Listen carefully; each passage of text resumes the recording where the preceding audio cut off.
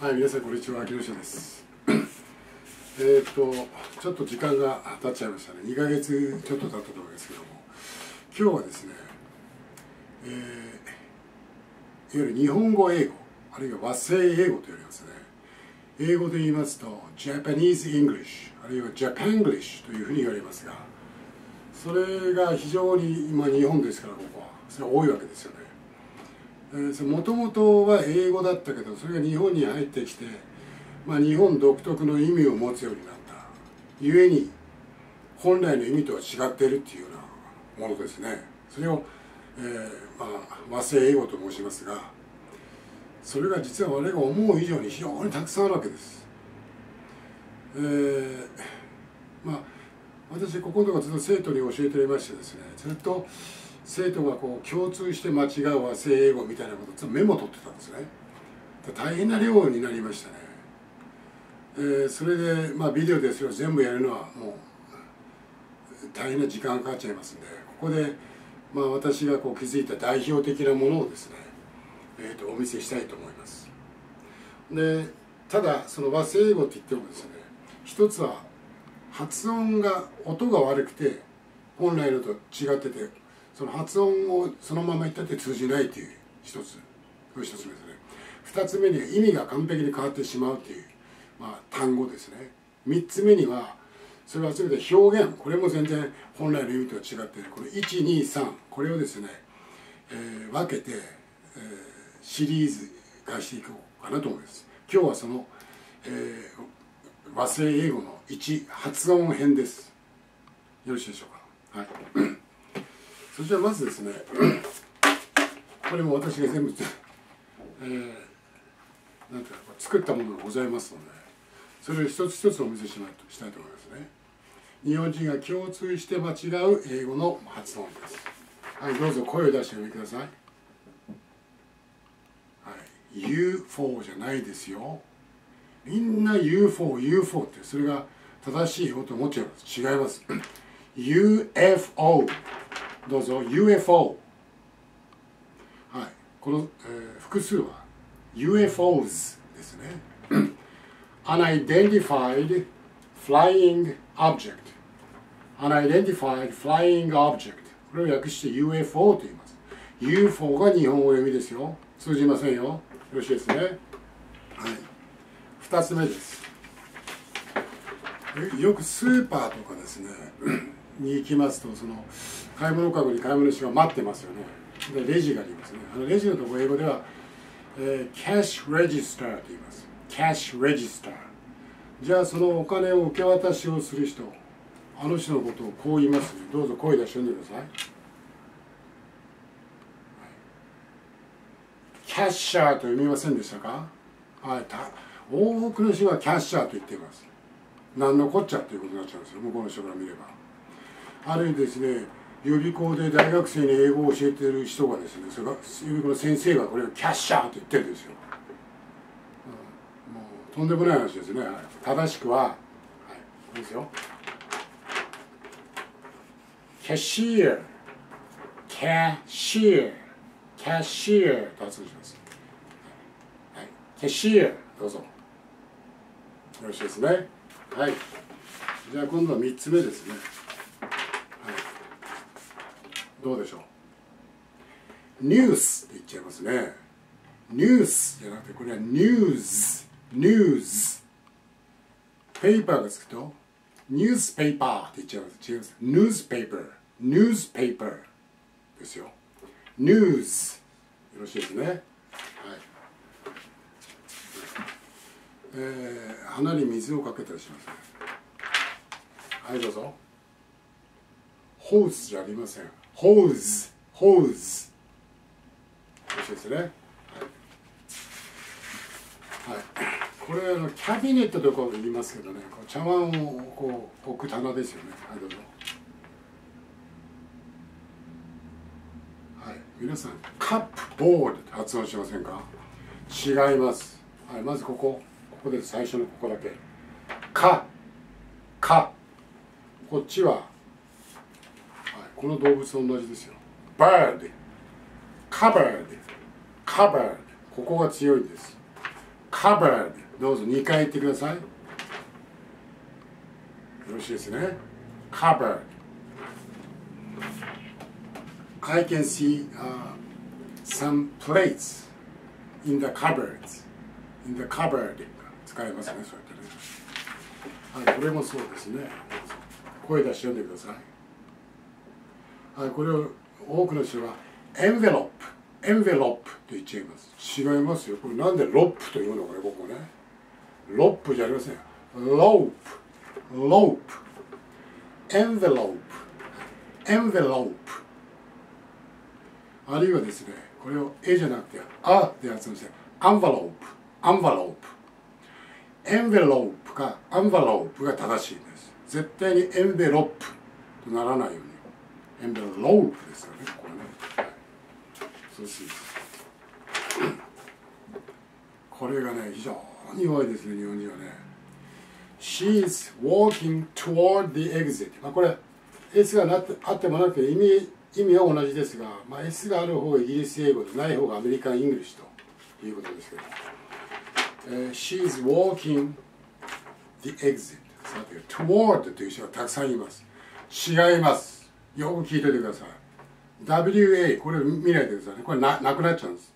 そうすると toward toward、はい、She's walking toward the exit toward よろしいですね。toward toward じゃないですよ。toward toward ですよ。しつこく言います、はい、動物ですね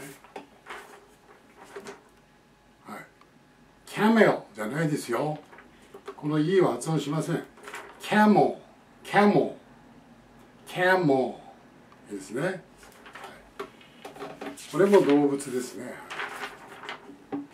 レオパードって発音してる人がたくさんいます。違います。この O は発音しません。しかもこっちはなんか R と言いたいけどそうじゃないです。leopard leopard leopard よろしいですね。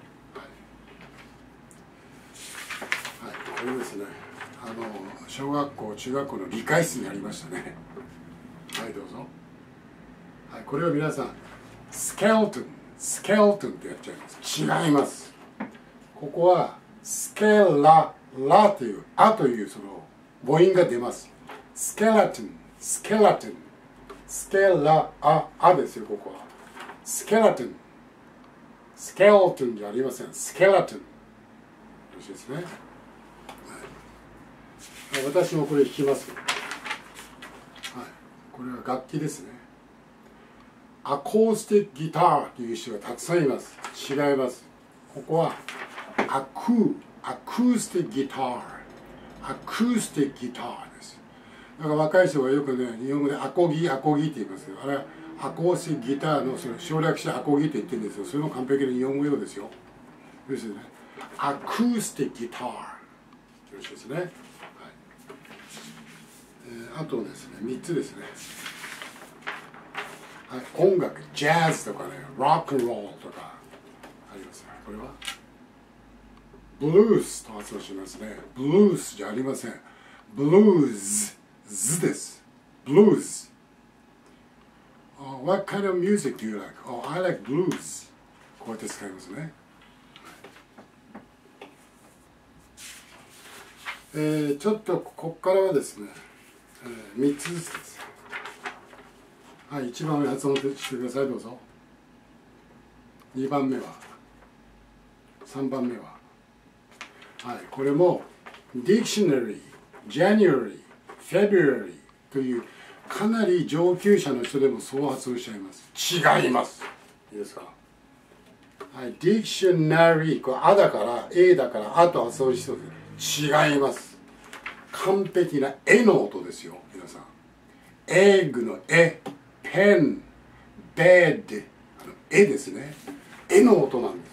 嘘と思うなら A 辞典を引いてみてください。日本日本で出版されて英和辞典が何と言ってるか関係ありません私には。完璧な「え」の音です。ですからこうなります。 dictionary。dictionary ですね。同じく January じゃなくて January 「え」です。January February これも「え」です。他にもですね ordinary ordinary じゃない ordinary ねですよ。もうそれはたくさんあります。もうでもキリがないんでこれやりました。あのそうですねえー、あまあこれ後で言いましょう。これ「え」ということでこれなんか RY で終わるようなもの LY で終わるものこの前のこの A はほとんどの場合「え」と発音します。あの文房具屋さんのことを英語で stationery store って言いますあれも stationery。あれはスペル自体が E ですよね。ナリーじゃないです。ネリー。あと2つですね。これも発音が悪いこれはある程度こんな言葉っていうのは発音が悪くても前後考えて理理解はしてくれるでしょうけどね、はい、スタディングじゃありません。ING がないと考えてください。そうするとないと。 study study 長いですよねそこまではちゃんと言わなきゃダメなんです studying、はい、 studying 次は crying crying その次は carrying carrying よろしいですね、uh, A bird is flying in the sky じゃないです A bird is flying flying だからこれはイングはあろうがなかろうがこっちははっきりそのまま発音しなきゃダメだということです。これをみんなそういうふうに学校で習ったんでね。ただ通じるでしょうけれどもやっぱり変に聞こえちゃうんですね。えー、ちょっとそこまでねまず最初お話しましたが例えばですね私例えば日本語を学んでる外国人がですね私は髪を切りに病院に行きました。皆さん。意味通じますか分かりませんよね。病院って聞いた瞬間にあの建物でねあの薬臭くてドクターとかナースがいるあそこにイメージがありますね急にね。そこに髪切りに行ったって意味が分かりませんよ。正しくは私は髪切りに美容院に行きましたって言いたかったんですよね。病院と美容院全然違いますよね。まあそれほどの差はないにしても日本人が例えば先ほどこれなんかスタディングクライングキャリングなんてやつのさ日本人って同じ間違いをしてるんだなと。で日本人がこう発音する時は例えばスタディングというかスタディーイングのことなんだなと彼ら慣れてくれば分かってくれますよいいですかでも発音まだ一回一回直してくれませんね。あともう一つはですね私は、まあ、発音のこれ決して発音の、えーと、レクチャーじゃございませんのであれですがあのビデオ9で発音のことは詳しく言いましたけども。